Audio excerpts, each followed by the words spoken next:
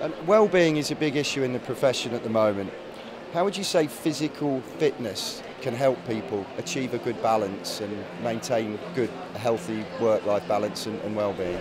I found it's helped me hugely. Yeah, I can't really underestimate the effects of exercise had on me at all. I think, especially in exam times, I know I'd be really, really stressed. And as much as it can be stressful taking time out to go and train, and you're kind of worried about when you're training, you're worrying about, oh, I should be studying, I should be studying. But when you come back, you feel so much better, and it just kind of clears your mind. and it means being much more productive and much more focused. So yeah, I think as much as it can be hard to kind of pull yourself away from work sometimes and spend that time on yourself, I think in the end, long run, it really does pay off and it does make you feel much, much better as a person as well.